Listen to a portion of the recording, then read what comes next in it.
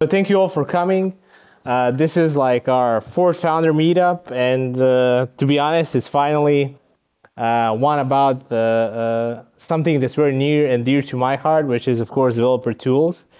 Uh, it's hard to put a panel in Croatia about that, but I'm really glad I, I got it together. Uh, it's also our first panel, so we usually do conversations one on one with VCs. Uh, but this one uh, actually randomly came together. Last time, Antonia from, from uh, uh, Infobip Shift or Shift Mag, whatever it is that it's called nowadays, kind of suggested the idea, and I, am really glad we did it. One thing that you'll notice, uh, I kind of keep uh, forgetting to say this, you'll have these uh, uh, pretty faces of all of these gentlemen on, on, on, on, your lanyards, but also there's a QR code. That QR code should theoretically uh, uh, give that information to anybody who scans it. You don't need to download an app. You don't need to do anything. Basically, you'll, you'll share your phone number, email, company, or whatever information we were able to scrape out of internet uh, uh about all of you uh, uh right here. Uh, so you can grab beers. I, I, think that there's everywhere. and pizza is being baked. It's probably going to come around 8, 8 p.m. there is Coke, water, but there's an incident with like Roma Quelle, so I, I, I think our lawyer is still not here, so let's not drink Coke until uh, until the lawyer comes or, or something like that.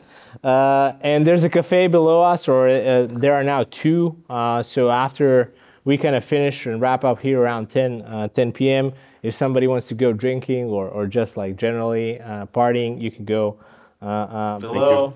Uh, yeah, no, I, I, probably not you, right? uh, I will, of course. Uh, every time I go to a party. Uh, so, so kind of the idea uh, behind every every single one of these is to kind of distill one one particular topic. So, for today, we I'd like to kind of help everybody here and to a degree even myself uh, understand how do you turn like a developer project or a side project that, that you might be working on into an actual business what does it take? How can you do it? Should you get funding? Are all VCs evil? And and you know how to actually make uh, uh, money uh, off of that. So. Uh, I've got three speakers, and I'm gonna let them talk, uh, uh, give them kind of an intro on their own. So, starting from my left, we've got Tunya for 500, and please feel free to kind of plug 500 or, or anything that you want to talk about. Of course. Um, hi, everyone. I think I met with like most of you. Um, my name is Tunya. I am from 500 Emerging Europe. We are deploying a 70 million euros fund. Uh, we are focusing on early stage companies from idea stage to, uh, you know, like every sub stages of an early stage. Probably we are very flexible. Um, and we are focusing on Central Eastern Europe and Turkey. Uh, we have been deploying this fund since the beginning of 2021. Uh, this is our second fund. We had our first fund, which was deployed between 2015 2020, and we had three unicorns out of our portfolio. And now we're actively investing in the region. We had our first Croatian uh, startup in our portfolio, Daytona. Uh, and Congrats. we are still, thank you, we are still actively looking for um, opportunities. Um, and yeah, I'm an, I'm an investment associate at our fund, and I think that's it from my side. Nice. Now we've got Amir from Qubinets, and probably a lot of you know him from uh, WESPA. So please feel free to plug anything you want. Yeah. Uh, well, um, kind of my history and the background. I spent 12 years uh, working with uh, Infobip since the beginning uh, till when they became uh, pretty large, about 3,000 people when I left. Uh, and uh, after that, um, my kind of path was that I wanted to have a startup, and uh, I wanted to start a startup. Uh, but there was no any kind of in infrastructure in Croatia, so I started up the place for startups called WESPA Spaces. Uh, we now host about 120 companies there, and 650 people is working from the from the space. And from there, I also started another startup which is called Qubinets, uh, where we build automation for data infrastructure. Uh, basically, we're trying to help uh, developers to self-serve uh, cloud resources such as databases and um, event streaming engines and so on in a very user-friendly way in a couple of minutes instead of days or weeks or waiting for your DevOps team. and uh, that project raised uh, um, million, million and a half euros uh, since we started. Uh, we started about 12 months back. Uh, the first project uh, with WESPA is now two and a half million euros in revenue in third year of business. So that's kind of my background working with um, unicorns and starting startups. Nice. And last but not least is definitely Matija. So feel hey. free uh, to kind of give us an intro and tell us more about Wasp. Awesome. Thank you all. I'm Matija from Wasp. Uh, so we are developing an open source full stack web framework. So just a quick question. How many of you are developers? okay, I, I, won't go super deep. Uh, but yeah, we are open source as we are uh, covering today, and we are building so full stack framework for building web apps, uh, currently supporting React and Node.js shortly about us. So we are here for about three years. We got uh, basically funded by Y Combinator and a bunch of other uh, deep tech investors. And yeah, that's pretty much it. We are in beta now, enter beginning of the year. We have about 25,000 applications created with WASP and now pushing towards 1.0. So happy to chat about everything. Nice. Uh, thank you all for coming, uh, especially Tunya. I know you drove from Budapest. I know a couple of people, uh, Ivo, you drove from Austria, so thank you for that, and a couple of other places. I really appreciate everybody coming. Uh, and uh, we'll get into the questions after uh, uh we're finished. You can ask any question you want to anybody here. Uh, and again, uh, we'll all mingle after after this. So because Matija was last, now you get to go first. I'm going to ask the same question to to Amir as well, and then we'll we'll try something else for Tunya. By the way, this is my first time moderating a panel, so let's see how I do. Uh, you're saying that every time you're moderating. No, no, no, no, no. I, I, don't say that. Uh, when I do one-on-ones, I'm, I, I, say that I'm a pro at this moment in time. So, so yeah. So, Matija, I'm sure many people here have, uh, or generally, many people have like a ton of ideas. Some are probably good, but probably most of them suck, uh, including my own. Uh, how do you figure out which one of those ideas is good enough to start building a, a company from? I'm, I'm basically looking, if you look back to WASP, what was that specific moment? Like, was it something that, you know, your customers told you about, or did it solve your own need, or how did you kind of mm-hmm. go from, hey, this is a really nice idea to, I think I could actually build a business or maybe even get funding for it? Mm, sure. I think one thing is to have an idea but also you know depends what you want to do with it. One thing is if you want to have a VC funded project, which means it has to be like a market big enough, scalable enough. But on the other hand, if you are not interested necessarily into going the VC route, it can still be a good idea for that. So I would say that is one factor to consider. And on the other hand, what you said, basically it should solve a problem, right?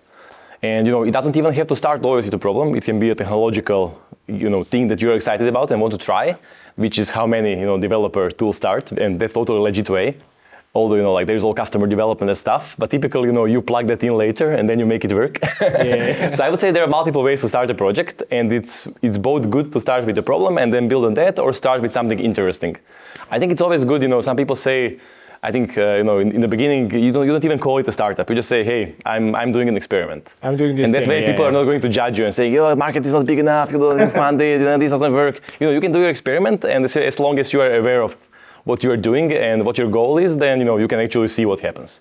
I think that's the best way to, to approach it. When you when you landed on the Wasp idea, was it like, oh, instantly, you know, I know this is it, or did it kind of did you let it sour for a bit and kind of grow on you? Yeah, I mean, definitely. You know, we had a full time job when when we started, and it kind of sounded you know start, sounded crazy in the beginning which is what got us attracted to it. so this is basically, you know, we just started, started developing the idea first while keeping our jobs, and then slowly, you know, it, uh, it kind of transformed into something, something more. Cool. What about you, Amir? How, how did Qubinets uh, uh, became a reality? What was it for you guys? I think uh, characteristic of a good idea is that it's a building block of amazing idea. And uh, the, uh, we had experience building big data platforms like uh, you know is the agency. Um, and one of the things that we did uh, for, for, one of the countries here in the in the region is the project that cost of like 200,000 euros resulted in about 110 million euros in saving for their uh, government, and uh, that gave us uh, kind of inspiration that you know if you could make hundreds of these projects to make it really easy for companies to uh, attend technology, then uh, you know just there's big, big disparity between the cost and result that they can uh, achieve with uh, um, uh, with big amounts of data. And that was kind of motivator to, to build Qubinets because we see it as a catalyst uh, to to put data in action. If you can speed up the whole process, make it much cheaper and make it much more appealing to the average company, um, then you can make much more impact. So yeah, I, I think that uh, uh, kind of context that uh, we have experienced something amazing, and then we try to improve uh, a part of it, uh, which then leads to scaling of amazing things, is what was the driver to, to think that uh, th- this might be a really good idea. Cool. Uh, Tunya, I know you're you're not building products necessarily, but you probably not probably we've talked about it. You hear a lot of ideas on a daily basis, so you also kind of try to figure out what is a good idea, what is a bad idea, especially from an investment side. Are there any early signs that you guys look for to kind of classify, hey, this is interesting, this is not interesting, this is good, this is bad, and what what would those be? Do they match anything that that these guys said? of course. I, I, actually, they, they explained perfectly the two way of building a dev tool. As far as I, I've seen, of course, like as, as you said, I'm not building. I'm just, by the way, waiting for this to become my roasting part.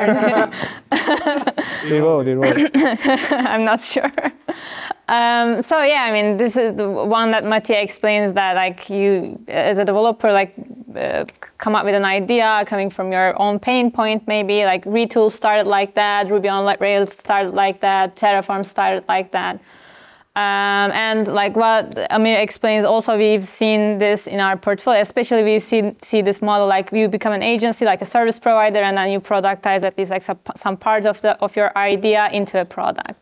So yeah, th- these are like two two amazing expla- uh, you know explanations of the, of the way, and I think this ha- th- this uh, creates an amazing baseline on, on your product and you can build on top of it because you're you're, you're aware of that pain point.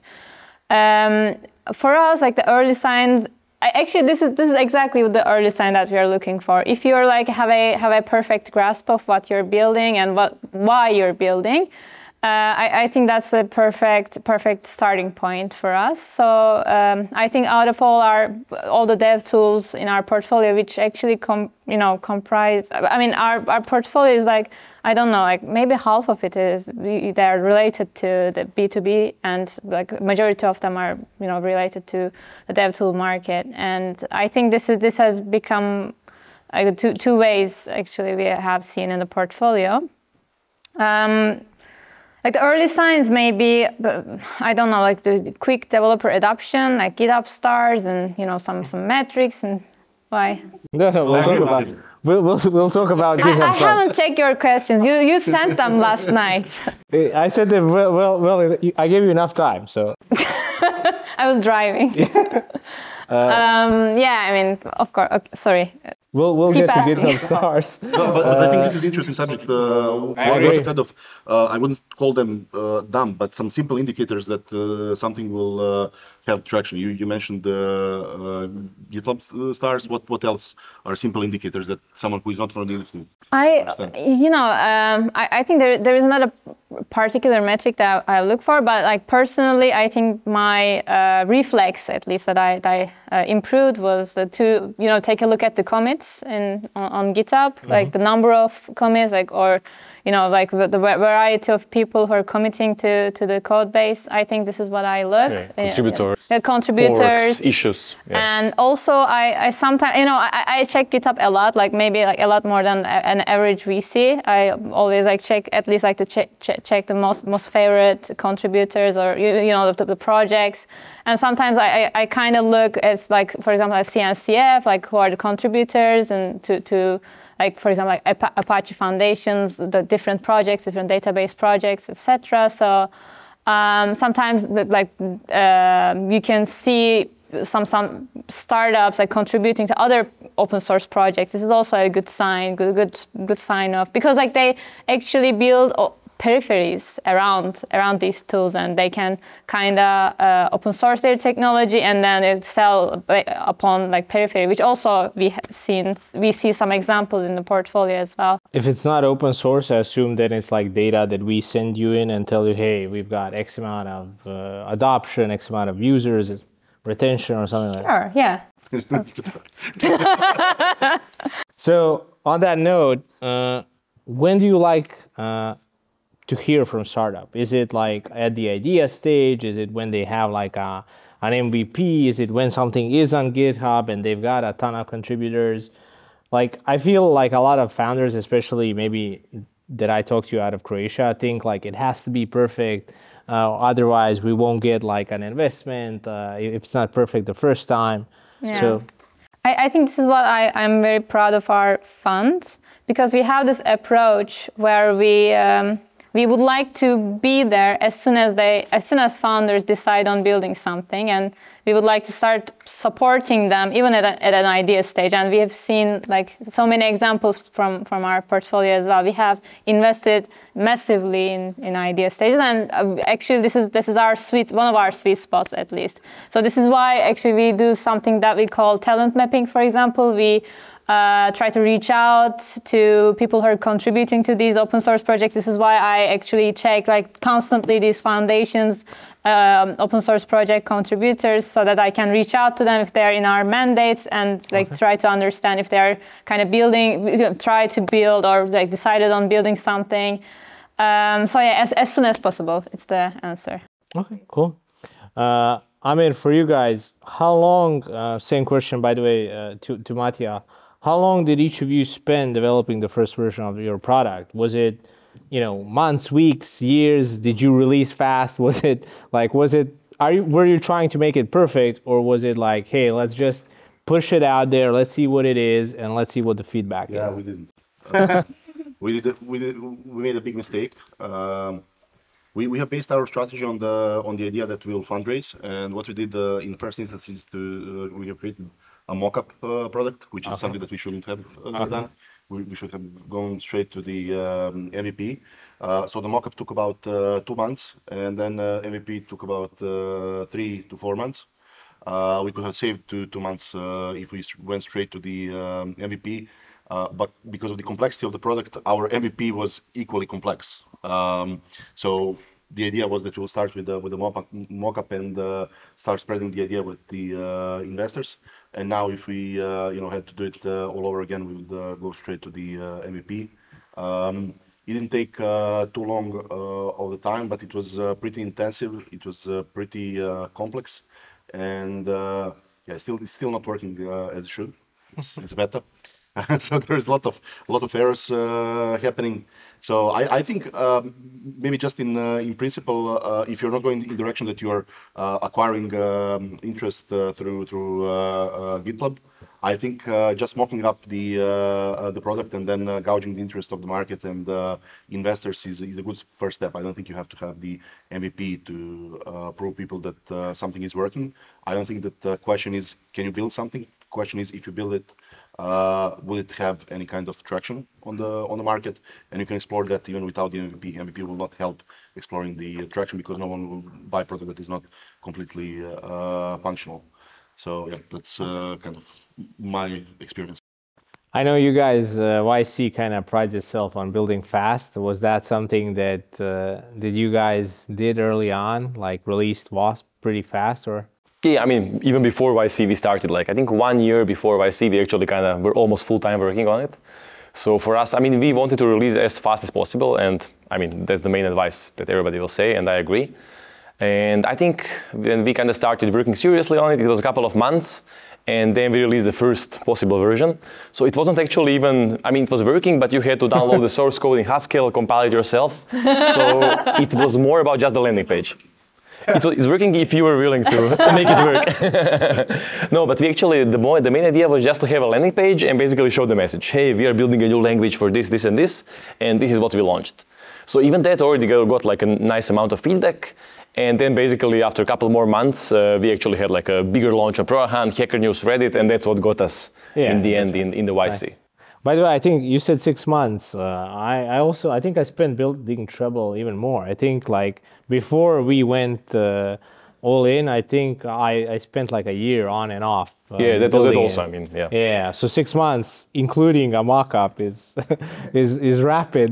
Yeah, but for example, we, we didn't release the, the product with PR and uh, marketing. Uh, I think we, we have this uh, uh, kind of approach. We, we want to see how complicated is it to build this kind of product uh, before we uh, release it to the uh, to the public. Okay, cool. Uh, so uh, Tunya is probably gonna think that all the other questions I'm gonna ask are probably all about uh, roasting her or generally VCs, but really, I, I know some people are, are generally interested. Hit me. So we'll start. We'll start with Matija and then go back to you. So you build the MVP. It's up and running. What do you do next? Uh, was fundraising even like uh, uh, on, on, your, on your radar is that what you wanted to do uh, i feel like there's a lot of stigma and we'll, we'll, we'll ask tunya about this as well especially in the developer community that for some reason people think vcs or, or any investor is going to come to you as a developer and tell you hey you need to do this using TypeScript and not something else, or hey, you should do, use Ruby on Rails versus PHP, or I don't know. Uh, do you, what was the path for you there? Yeah, I mean, we are developing Haskell, so I think you know that, that says enough. yeah. No, I'm just kidding. Yeah. Uh, no, I mean, I think you first you have to decide what you want to do. Like, are you even interested in you know venture capital, or is it just going to be? I was just on the panel the other the other day, and one developer used you know like a word, word like this project is my house plant. You know, so it's like a library or something which I never will maybe like be huge or grow big. Okay. But it's going to be like integral part of other libraries and basically you know i can get sponsorships i can just you know work on it connect it con- collaborate and stuff, stuff like that so that's one thing but for us specifically you know we decided to build a whole new web framework Okay. so it's a pretty kind of you know solution in one and because of the approach we took building our own compiler our own specification language around it we knew it's going to take a lot of time and we knew you know we can do it part-time so for us that was the main reason why we decided for, for vc funding and also we knew about YC, we knew that they have a lot of open source companies and they know what they're, do- they're doing there. So that was the main motivator for us uh, to apply. I've been thinking about it uh, recently about time, and I feel like uh, the, the role of a founder is literally to buy time for the company until you figure it out, uh, either sales or the product, uh, one of those two. So you either hit it or don't. But essentially, you're buying time at the end of the uh, uh, day. What about you, Amir? What was you? You already kind of hinted that you guys wanted to go the investor route. Uh, was it a similar approach? You, did you think it's going to need a lot of resources, a lot of time, and uh, were you afraid that they're going to tell you, "Hey, don't do this, don't do that"? Yeah, no, we were not afraid of what they will say. I don't think that uh, really matters because you can always say no, and I think it's fair to have your say and have even better if you have the arguments against something that uh, someone is suggesting. I don't think that there is a situation where someone will suggest something and that will have detrimental effect. Uh, it can only be helpful because it's another perspective to, to consider. Um, but I think, uh, again, mistake that, that we did, we went uh, pretty early into fundraising uh, without uh, product, without uh, revenue, with a great idea because we were convinced that it's a great idea.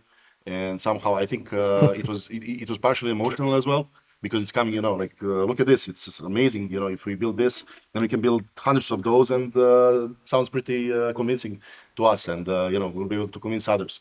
Uh, but it seems that uh, you know having uh, the idea and uh, passion is not uh, the main driver for the uh, investors, and uh, that's fine. That's uh, We'll let Tunya answer that. that, that, that's absolutely acceptable. That's something that we learned uh, along the way, and I don't think that uh, we have lost anything in the in a process because it's not like uh, we would develop, develop or implement more code if we didn't uh, fundraise. And I don't I don't think that um, you know founder should be the one writing the code and uh, creating the product uh, himself. There are more important uh, matters to to attend.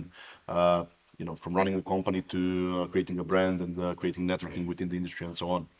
Um, yeah, from, from that side, side I think uh, I, I often say that building a company and building a product are two equally challenging um, jobs, and you have to have a team that is building a product, and you have to have founders team that is building a, a company, and when you join these two things to, together, then it becomes something investable.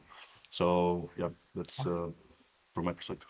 So Tunya, do investors actually tell uh, founders uh, what tech to use? Like, should, you know, did you ever tell anybody use GraphQL instead of REST or something like that? Uh, why do you think that stigma even exists, especially in the developer community? Like, to the best of my ability, I feel like sometimes uh, you guys might ask about results in terms of sales, and then everybody's like, "Oh shit, VCs are telling us what to do."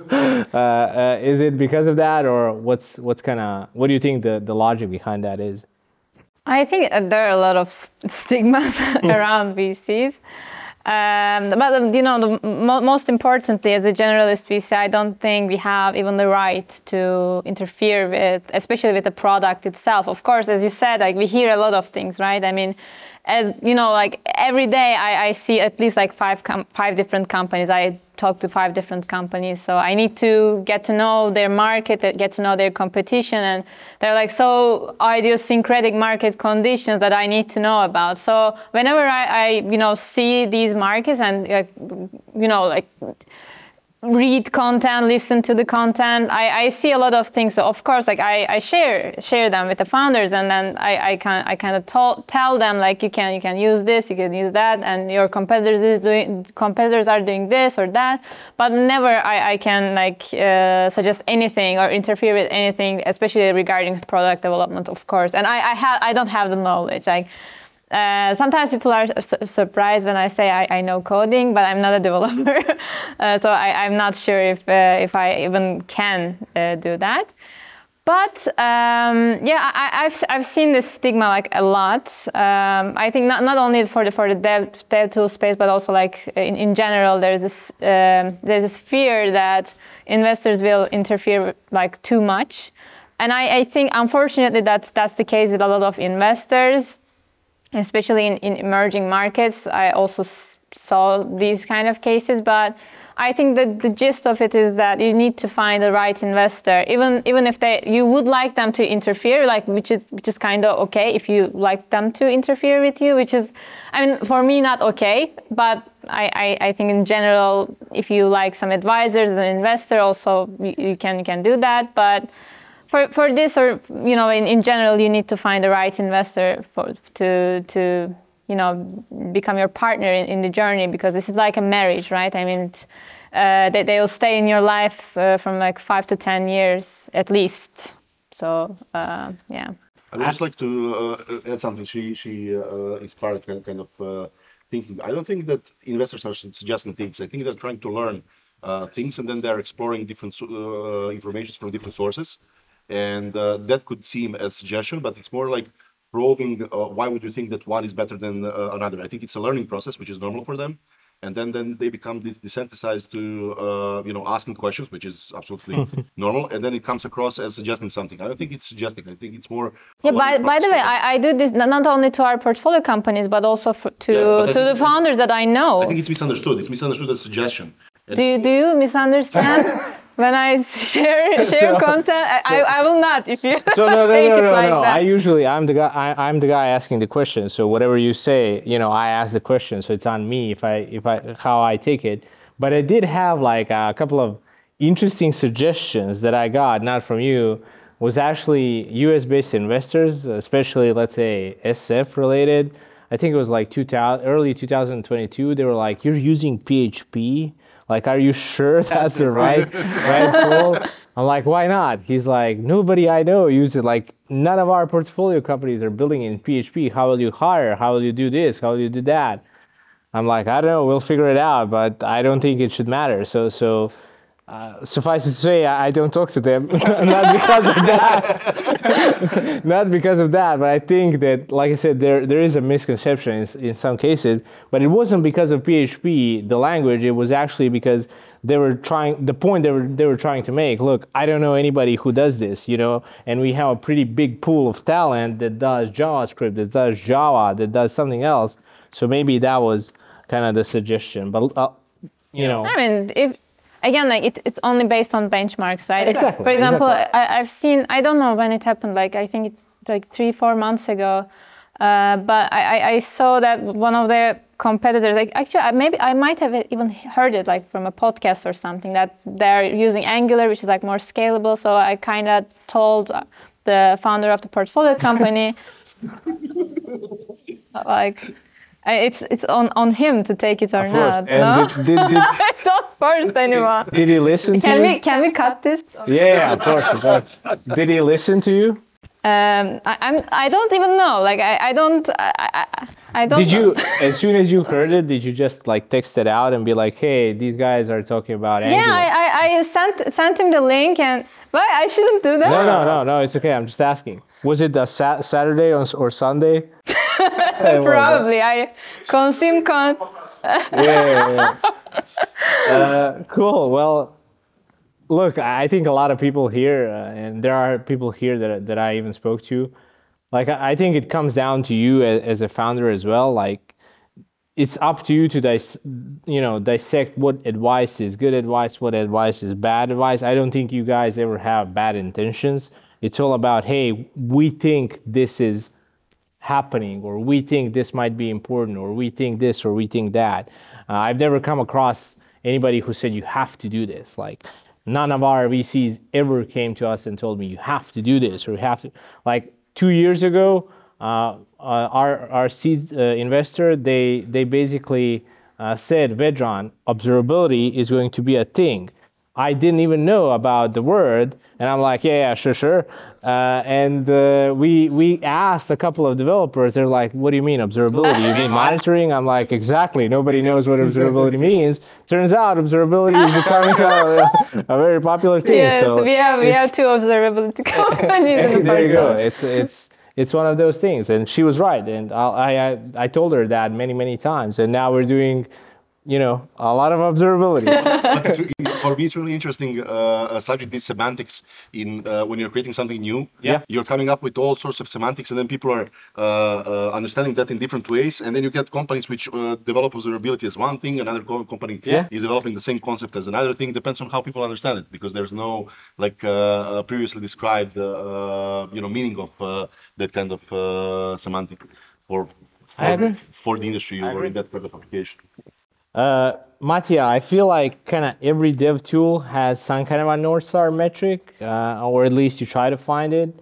Uh, what was it for you guys? How did you measure early on uh, uh, growth? Uh, was it number of users, retention?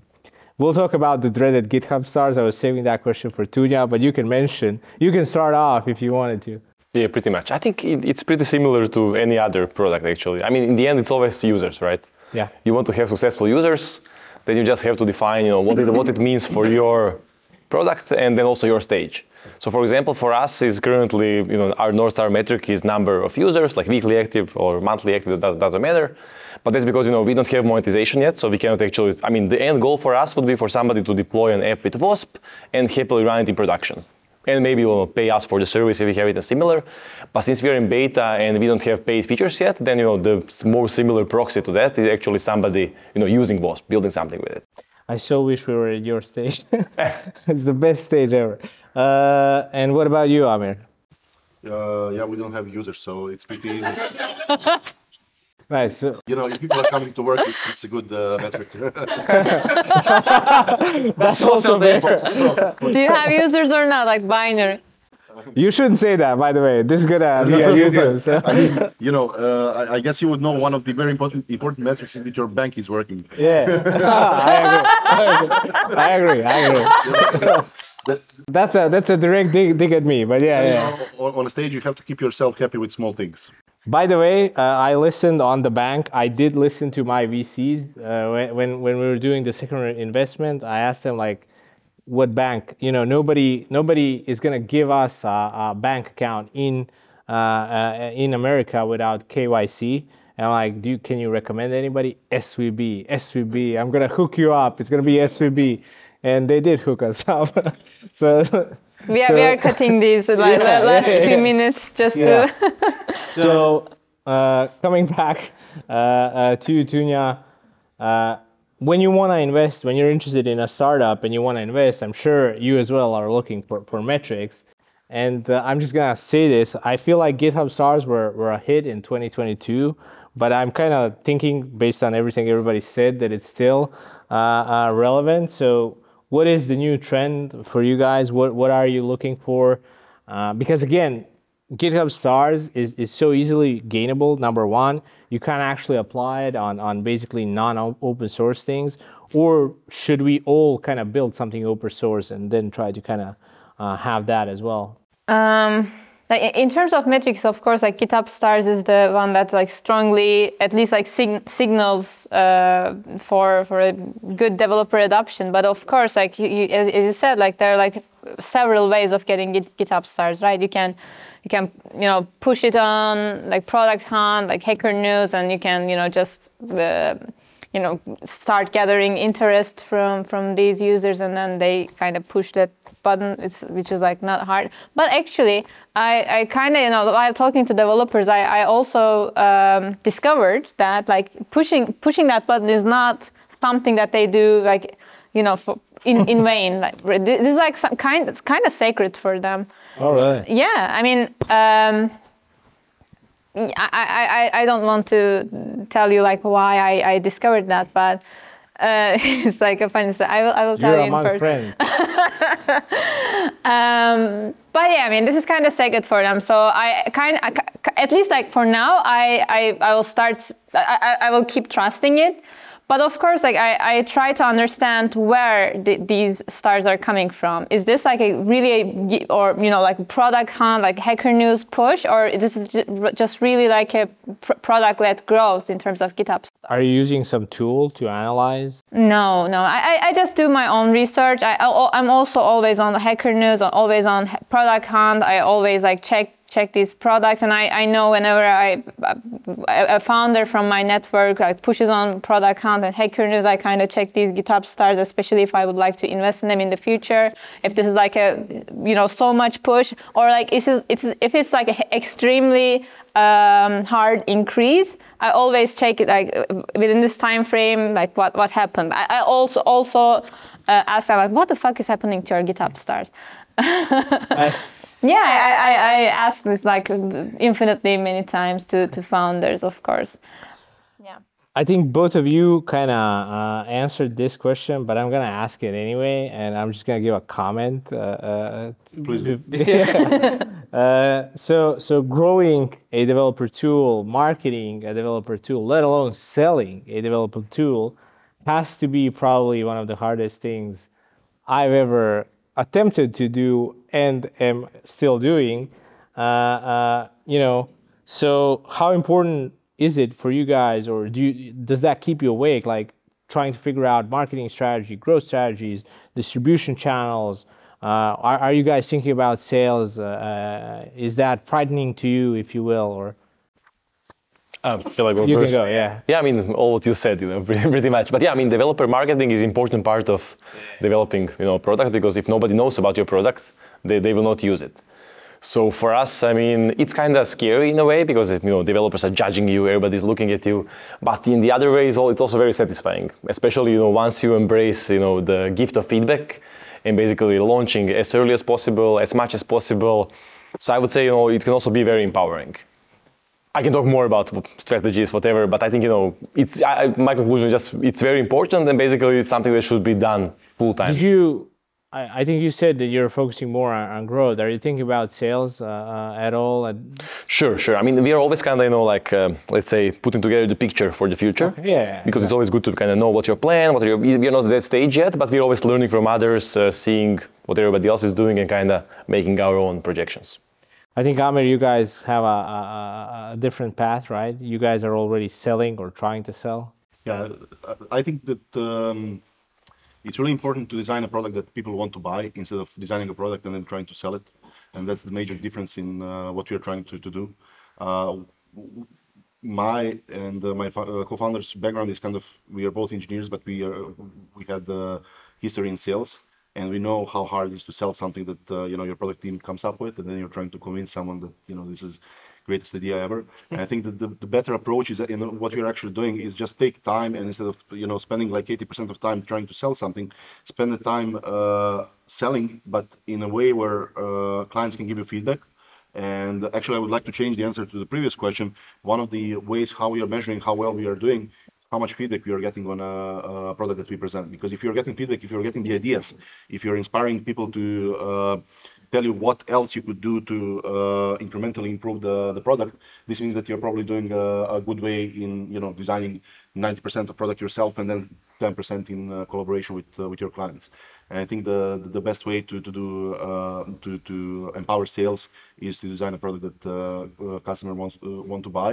And um, problem there is to, to, create bridge between the sales and the engineering. And this is where I think founders have the biggest role to actually uh, not make it a bridge, but actually uh, keep it connected and be kind of product managers and uh, talk with the client, see what they say, and uh, change the product. And then on top of that, pivot a business strategy. Because uh, I was actually thinking when you say developer product, you have already defined a buying persona.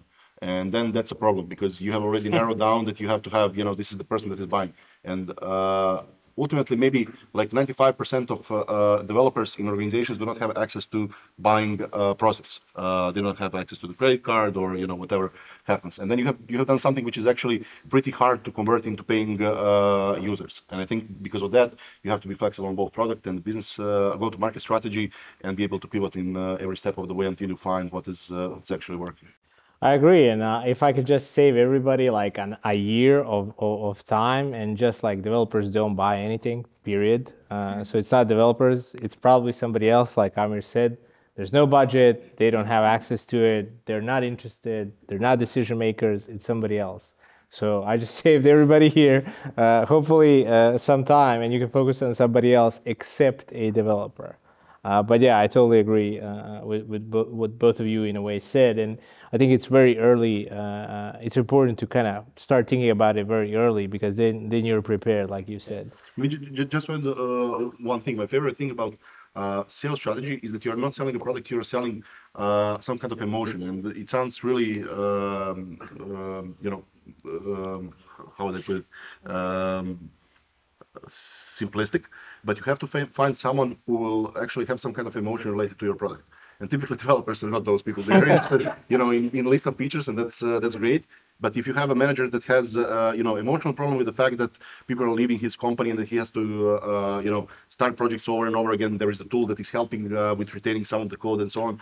This is kind of emotion that you can that you can uh, exploit to get this manager to buy a product and implement it in the organization and have developer uh, I to use it. This is kind of uh, my. Let alone, it took me a year to figure out that you can market to one person and sell to another person. Yeah, so maybe, maybe, I'm, I'm slow. slow yeah. and, and actually, I had the in Infobip, I had this uh, experience working with um, one organization that uh, created a sales process for LinkedIn and uh, Amazon and, and, for others. And there, everything was about the emotion. So the customer stories always had a name and location, and they had even time of the day because all of that kind of invoked emotion in, uh, in listener and it was much less about features of the product. It, it, was much more about experience of the people that were around the product and how how that improved their you know quality of life. And that was kind of driver to look at the features. And I think uh, you know obviously they know what what they're doing, and that's a way to, to go to somehow elevate yourself beyond the product. And we don't. I know that we are all tied to you know what we are spending 90% uh, uh, of time with, and actually uh, try to understand what drives the other side.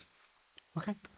Uh, Tunya, we've talked about this uh, a bit before, but I feel I, I, feel like VCs are sometimes uh, like a hidden treasure of information, and you said it like you see five pitches a day. I don't know how many decks a day. It doesn't really matter unless you want to put up numbers. Uh, uh, do you see a pattern of something that works when it comes to dev tools? Is it like a channel, a growth hack, or is it literally just kind of figuring out a, a product and, and a flywheel motion that kind of perpetually works? Or is it is there something a hack or something uh, that you think uh, might work or have heard of uh, many many times? Yeah i mean i think when it comes to dev tools of course i mean in our portfolio our, our portfolio is like a very early stage right? I mean we've yeah. been investing in from this fund from for like i don't know at most two years three years um, but I, I can tell, like, the, especially the, the project open source companies that I've I've seen. Of course, like there are some patterns. Well, the one is that, I, of course, like the content, right? I mean, developers love content, but again, like focusing on individual developers wouldn't, um, you know, at least like make make your startup skyrocketed. Of course, like there's there's a playbook for for making it an enterprise focus um, focus project, which is like you know, like just giving the giving the opportunity for them to self-host it or, or um, you know, building some you know regulatory or security layer on top of it, or and I, I think that this works for for almost all startups. Um, yeah, I, I think I, I don't have any more comments on it. Like I, I think this is pretty much it as far as So, in your experience, is it at least important to start thinking early on about sales, or, or do you guys don't care? No, no, no. I I, I think it always at, at least like almost uh, the majority of the times uh, you start uh, building something based on developer adoption because at the end of the day although they will not the ones that will pay for your product they will the, they will be the ones who will use it and contribute to it especially if you're open sourcing it um, so they, they will they will be the ones that that, that will become a part, part of the team so of, of course um, focusing on individual developers is like the starting point. Okay. When you invest in, in like companies from this area, let's call it C, whatever, let's call it Europe. I don't care. Uh, no, I'm not gonna call it that. Uh, let's call it Europe. Uh, uh is the end goal always US? US like, uh, does it become inevitable that every single company you ra- you can invest in this part of the world just is expected to end up going to US, whatever that means, either physically, either you know, people wise, either sales wise, whatever it is, uh, uh is that the expectation? I, I think all wise. okay. All wise. right. um, but yeah, I mean, of course, like the, especially in our portfolio, you, you can see teams that start locally because and of course like starting lo- locally is always like easier almost always uh, easier because there's this very good talent still in, in central eastern europe. I mean you, you are the one who, who's hiring like all the time so you should you should comment on it. But i, I, I think will, still I still the talent pool is still legit here. So yeah i mean almost all of our portfolio companies start locally. Of course we have some diaspora deals but generally this is the case um, but yeah, of course, like as, as at least like as 500 emerging Europe, we can we can sell the idea of going to as, as San Francisco and start your sales because, and this this is um, at least like in terms of culture, in terms of how, how they work, in terms of connecting with them. I, I think it's always um, what what we wish them to do and what we actually motivate them to do, and we actually provide a lot of tools for them and we have we have a big network. Uh, we have accelerator program. If they're like super early, we, they can they can use this opportunity to go to SF and like at least um, create some playground for themselves. But of course, like even if you're like at the moment, if you, even if you're like a super early stage open source company, focusing on individual developers, trying to get ad- adoption from them, trying to get like a lot contribution, as much contribution as possible from them, I think you need to um, think about enterprise sales as early as possible because this is again like these are the corporations that will pay you and yeah. I agree. Uh, Matija, for you, we live in, in, in the same question can go to, to Amir as well. We live in this like remote first world. Everybody's kind of staying at home and, and, and working from home. Uh, uh, but I still feel like even though we have access to engineering here, I, I still feel like building a dev, dev tool from Europe is just like incrementally harder than, than doing it, especially in the Bay Area. Uh, do you feel like, you know, it's even possible talent wise? Do you, do you think you could attract enough uh, like global top talent that can help you scale the company and the dev tool on a global level? Mm, I mean, in my experience, yes. So, you know, we haven't had both employees from Croatia and from the US. So I think especially for DevTools, it's kind of easier because, you know, everybody's used to everything being on online, Hacker News. And I mean, YC was a big help here because I think it, you know, it's kind of like a stamp on, on you. Right? Yeah, because somebody says, ah, they're a YC company. I know what's going on. I know they're legit. So actually, our first employee ever was, you know, just from the US. So he just applied and you know we, we started. So he heard about you through YC. Uh, yes, I think it was Hacker News, and he liked the idea. We had a chat, and you know previously he was at Red Hat, NetApp, like bigger enterprise companies. So for us, it wasn't uh, wasn't an I shouldn't have went with YC. uh, okay, so so you you think it is possible? Uh, yeah, sure. I mean, I even you know obviously the benefit here is that we have uh, talent, and you know like uh, the whole cost of life is more affordable, which reflects on everything. So I think that's kind of an unfair advantage that we have right here. What Even about you know, often there is an advice actually not to come to SF because how are you going to hire? I mean, I agree. What do you think? Your, your question was pretty specific. Uh, can we build a product here? And I think we can build a product, but I don't think we are building a product. I think I, I think I said scale it. scale, scale a product. Yeah. Yeah. Uh, I, sca- I go- said scale a developer tool. So go go in the same direction. I think the, the question is, can you build a company from here? I think it's easy to build a developer tool and the product here in this region, uh, but lack of talent is not on building a product. Lack, lack of talent is on selling the product and creating a company that is globally uh, competitive. And I think this is where you need to build a product here, but then build a company uh, somewhere where you have access to it. I mean, just a, a, simple example is uh, we both had joint experience in performance marketing, and um, we, we worked together uh, on that for uh, for Treblle. And in Croatia, and especially in the region, it's very hard to find people that did uh, performance marketing um, for global uh, product, uh, which means uh, understanding how to target different uh, ethnicities, different uh, regions with different uh, messages, how to vary that message. Uh, here is basically, you know, just uh, put uh, some kind of picture on uh, Google uh, Ads and hope that uh, things will perform. And I think it's, it's much more uh, nuanced than that. And I, agree. don't think that uh, experiences here, you have to go somewhere else. Uh, but building a product, yes, you can do it here. I agree, and there are like to your point. I totally agree that this part of Europe, I would. Uh, I'm, I'm not gonna say this publicly, so I'm just gonna sugarcoat it. Between Europe or Croatia and SF, maybe I would pick Croatia uh, uh, more often than not. Uh, let's just put it that way. But there are advantages of being an SF. Like when you go there, you can randomly bump into. Like I was at Five Guys, met a guy that was standing behind me. He's like a really talented uh, hiring recruiter that kind of landed us a couple of really great uh, SDRs and stuff like that. I, I probably wouldn't meet that guy in this country, maybe, but maybe not, right? So, so there are some opportunities as well as I think the mindset. Like, if you drive, uh, me and Tia were in SF in October, I think two times or, or, or something like that. Like when you drive on the highway, all the ads are like AI this, Rider AI, Twilio AI. The ads on our highways are like toilet paper, right, or something like that. So Political party. yeah, yeah, yeah. Political party. so there is a slight push, you know, uh, uh, uh, when it comes to mindset. Like you just have to. You, you, everybody is kind of in it uh, uh, a, a lot more there. Um, I don't want to. Let's let's continue with you, Amir. Like, if you had to go back in time and kind of change or adjust one thing uh, in terms of product launch, sales, go to market, anything you did uh, as part of uh, Qubinets, what is it that that will be? Same question, Mati. I'll give you more time to think. So I, I wouldn't build a, build a mock-up product. I would just uh, create a video of uh, know, something that I, would, that I would be able to show to the investors. It would be much shorter and uh, cheaper. Why? Because there's, Did no, you ever- there's you- no difference between uh, video and the mock. Did you give a demo? Yeah, yeah. I mean, you know, our mock. Do you want to see a demo of a product? No, she, she has seen it.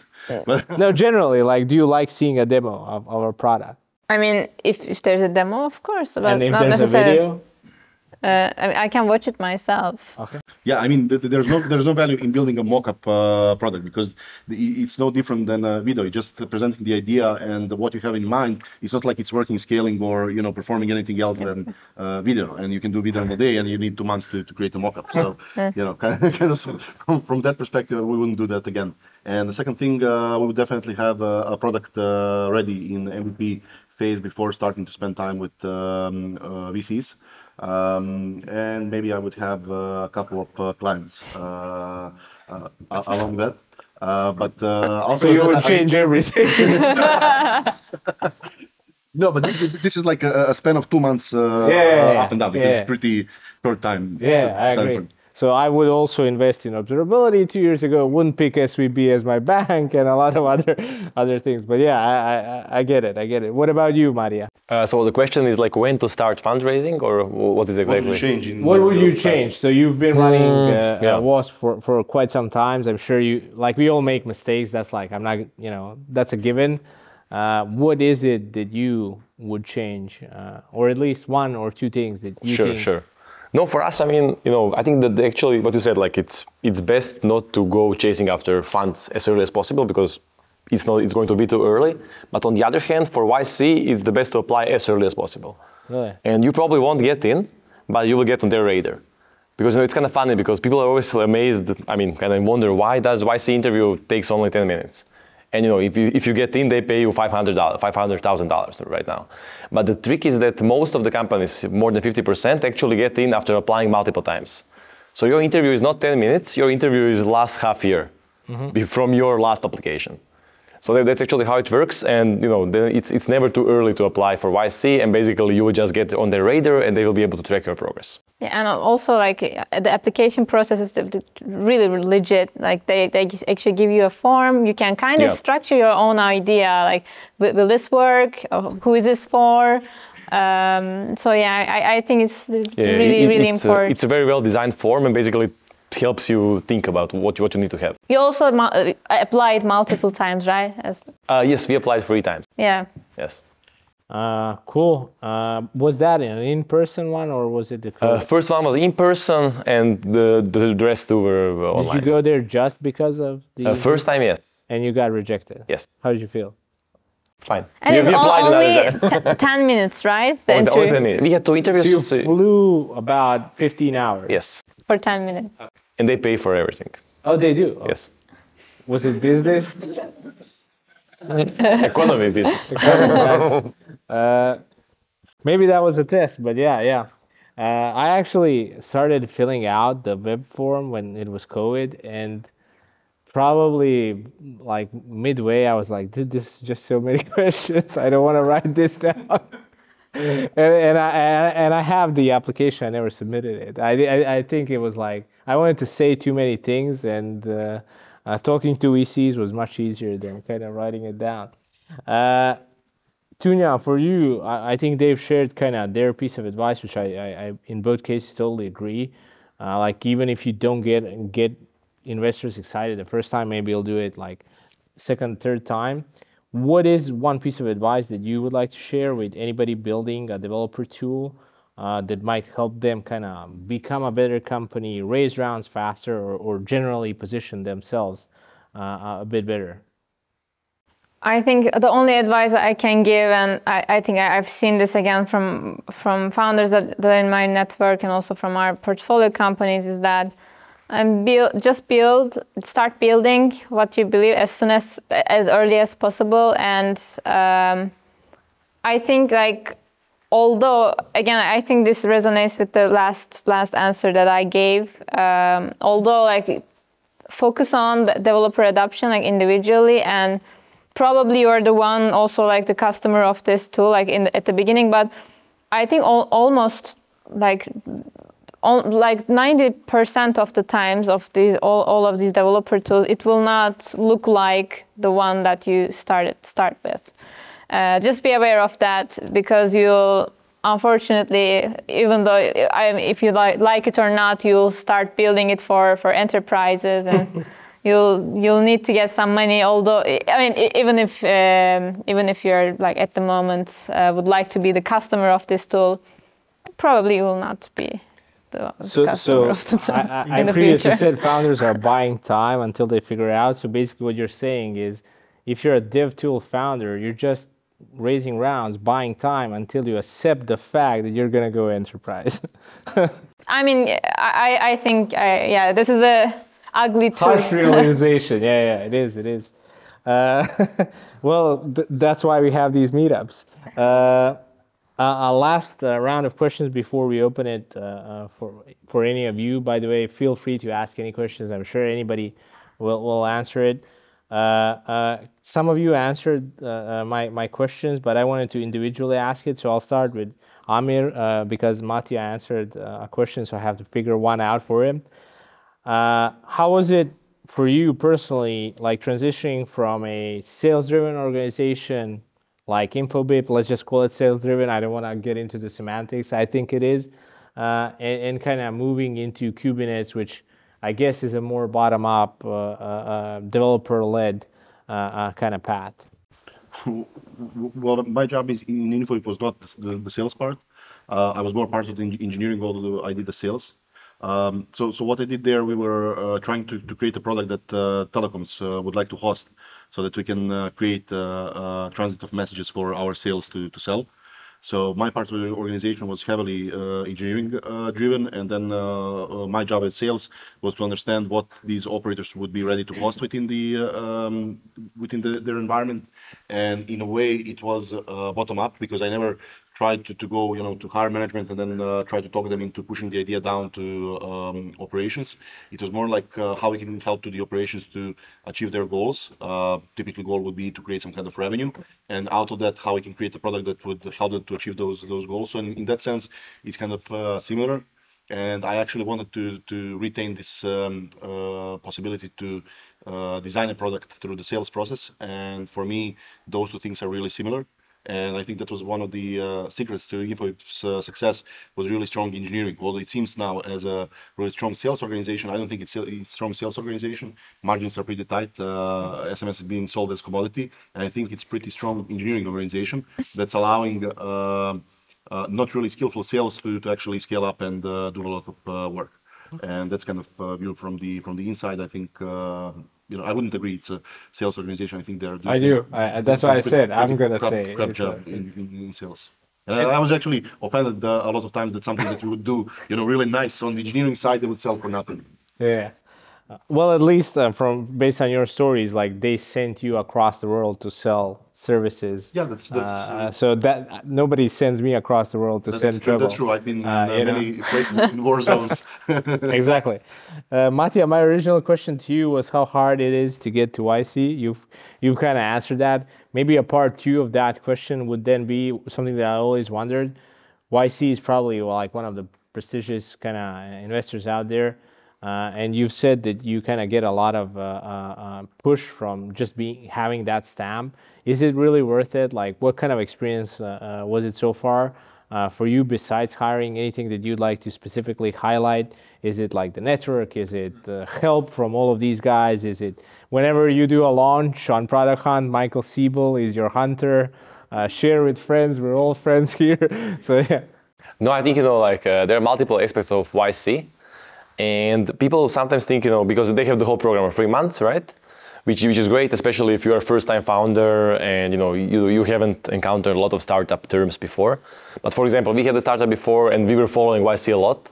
So I would say like a lot of what they're going to teach you is actually online. I mean, you know, there is no secret they are keeping only for themselves because no nobody can help you, right? Yeah. uh, the same. I would say you know the the most uh, like two biggest benefits of YC are basically that stamp you get, you know, which helps a lot with fundraising. Not in the sense it's going to raise around for you, but you can get an intro to pretty much any investor you want, right? The rest is on you, but it's much easier to get to talk to whoever you want, right? So that's one side, and the other side is the community, what you said. Because you know, basically, of course, there's Michael Seibel, but he's no developer. He doesn't know how to help you with the specifics of your developer tools. But you have like all all the bunch of companies who were doing open source before, like you know GitLab, Supabase, or just engineering from Airbnb, DoorDash, and similar. And of course, you can use that network, reach out to people, talk to them. So there is you know a vast pool of knowledge that you can tap into. did you did you use uh, that network at any point in time Oh, of course. I mean, we are connected. There is like a special branch for open source startups. You know, we can all chat, uh, exchange knowledge, Is help, help like each a other. Slack channel or Uh, there is Slack, uh, internal platform, like all kinds of, uh, of services. Yes, cool interesting Is there a secret handshake? yes, of course. Open source handshake.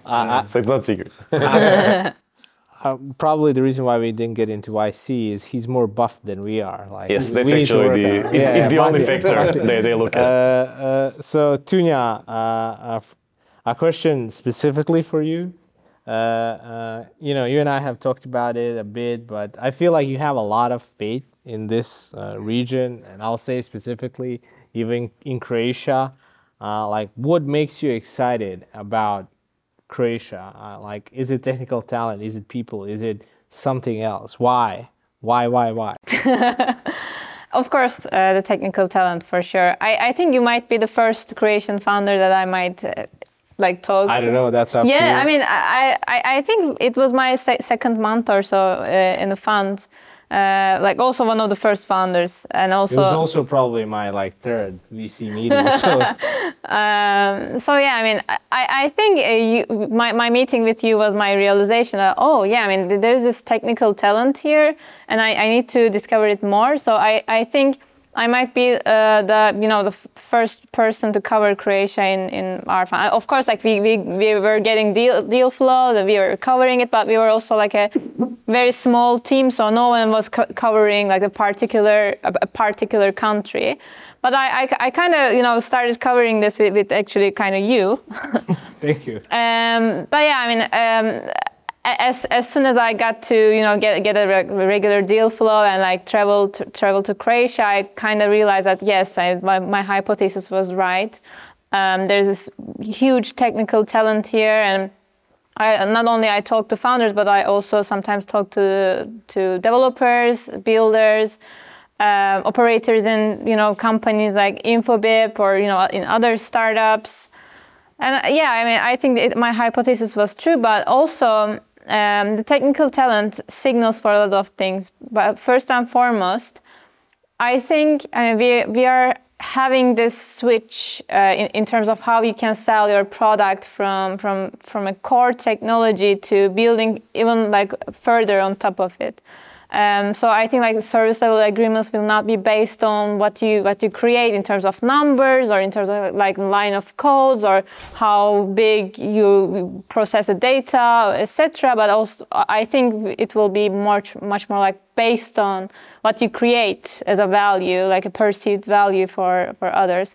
So I think technical talent is much more important here because I mean you can you can I think like right now, especially with, for example, like with generative AI, the technology itself, like the core technology itself, is becoming more and more um, as a commodity. you can uh, like just just yesterday, GPT has announced like a much bigger context uh, LLM, and right now you can like take it and build or build process like much bigger amount of data, and they, they will keep doing that.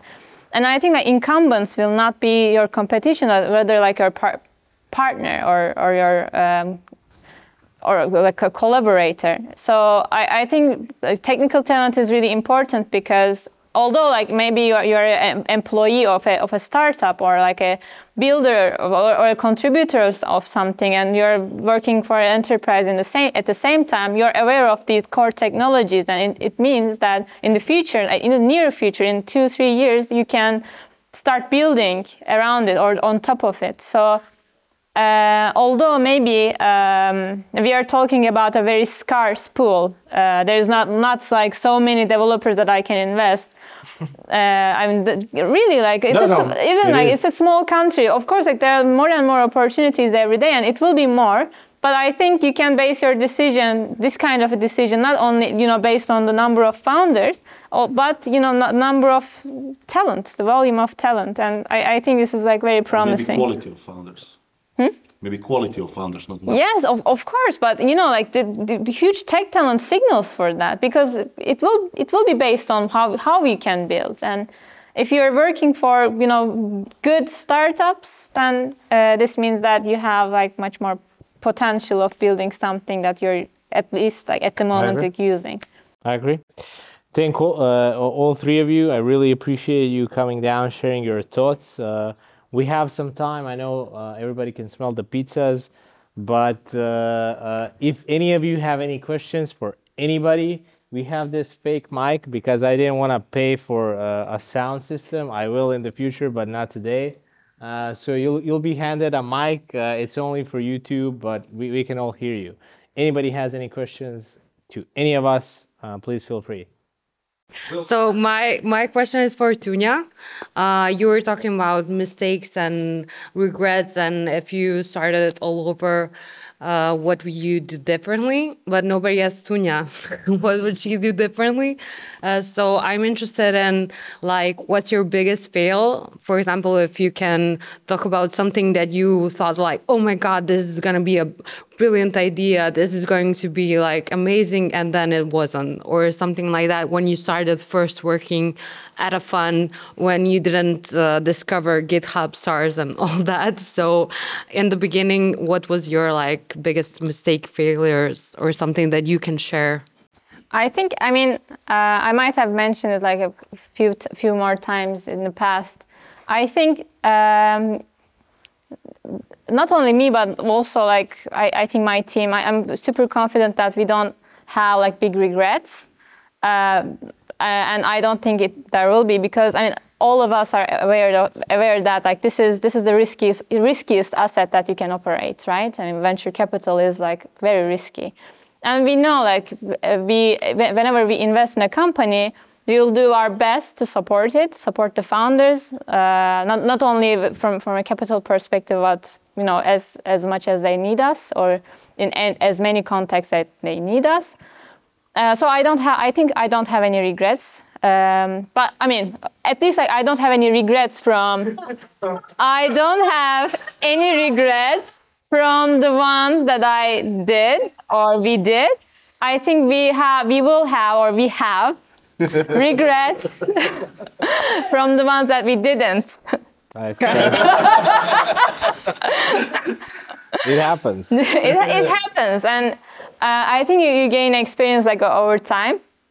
Uh, whenever uh, like we, we miss a deal or whenever we happen not invest in a, in a company, I take this, especially if it's my deal, uh, I, I, take this as my failure to not push it like uh, as much as I can. Although I do my best.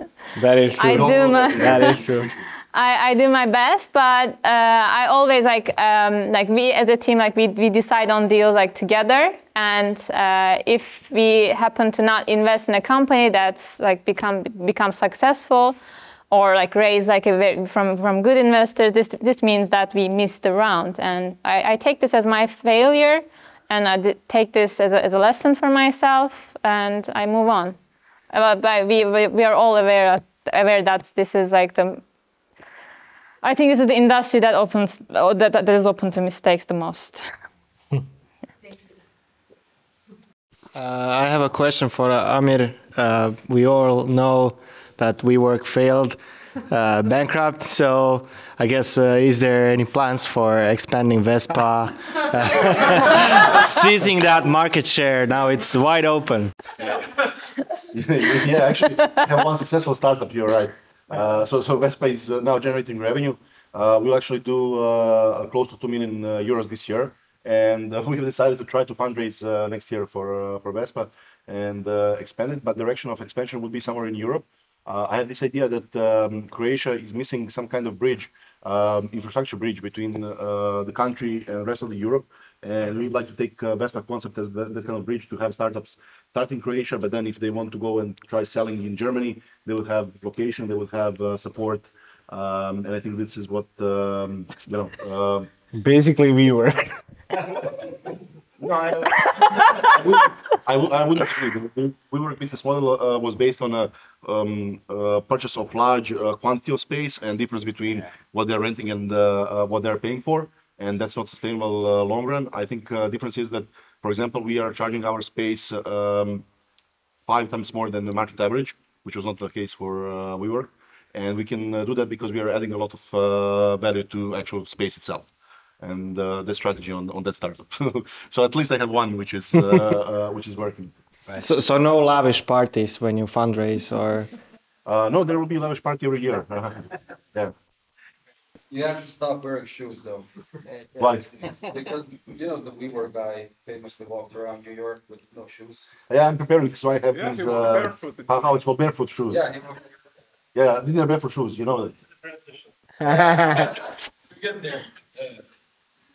Um, I would just like to chime in with a comment on WeWork. So WeWork was actually profitable in 2014 because they were they were when, when they started. yeah, yeah, exactly because they were uh, renting out places uh, long term and then they were selling it to companies short term and they were basically uh, the middleman and collecting uh, solid income, I would say. But then with this global expansion, especially with the investment from SoftBank of uh, 10 billion, there was need to grow at an incredible pace, and that's what what uh, killed them. But it was a profitable business in 2014.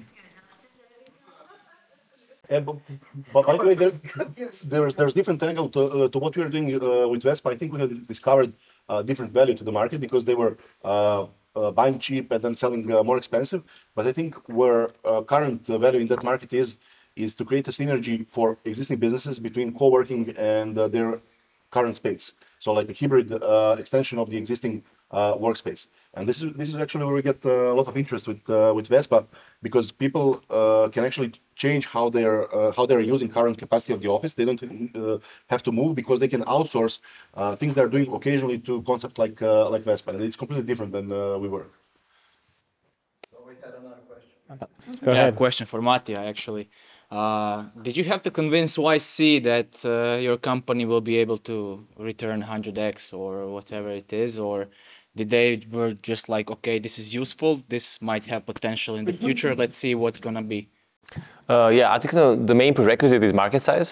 Because if the market is not big enough, even if you, succeed, then basically there is no case for, for venture funding. So that's the first thing. And you know, with developer tools and web development, that, that was covered. And then the rest is you know just painting the picture why you will be able to cover that that, that market. Anybody else has any? Okay, cool. Go ahead. Serious question, please. Uh, It's also for Matija. No, we work with. yeah. Uh, how do you plan to earn money with a product that is uh, Also, no framework, hard questions. open source, and targeting developers? No, actually, actually, it's very, it's very easy question, and that's also, you know, one of the things that uh, were kind of, you know, what they taught us at YC. Basically, don't invent anything which is already invented. So, you know, open source model is by now, you know, quite proven. And you know, the best thing you can do is, you know, kind of just, you know, find, look at the role models and see what works for you.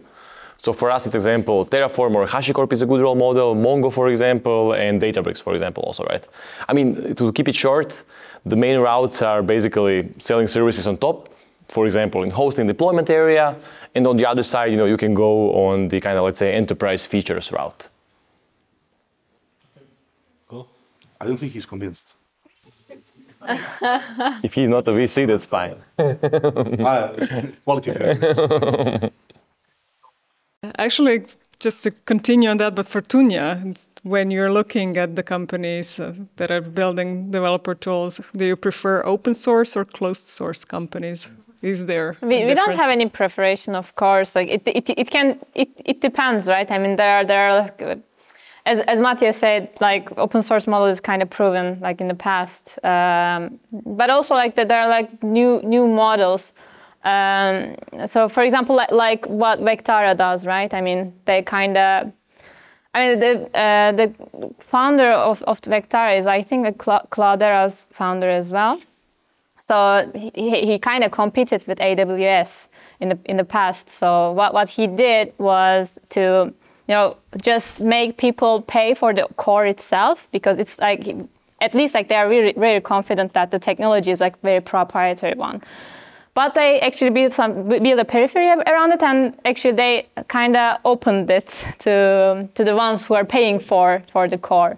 So there are like a few models, of course, uh, but yeah, I mean we don't have a preparation. But of course, if you're really confident that your technology is a proprietary one, of course, like you can open so, um, open periphery it. But if you uh, think that this can be the basis and um, this should be open source and this should be co- be contributed by you know the other uh, outside developers, then you, you can open source it. I think it's all only based on logic and how, how you explain it and how you visionize the company.